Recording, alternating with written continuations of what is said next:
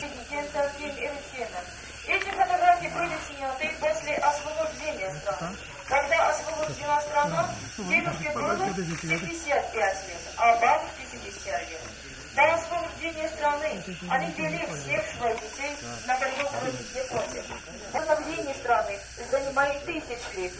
Поэтому нам надо хорошо свою страну, подобрать хоть один газ, заложить прочь бумажный канцлер.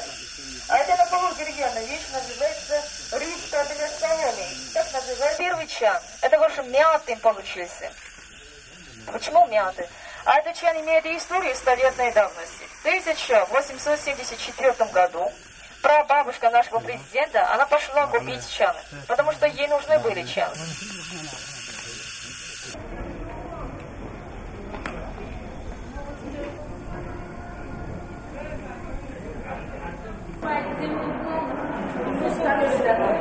စစ်စစ်ဘယ်လိုကြံကြရဲ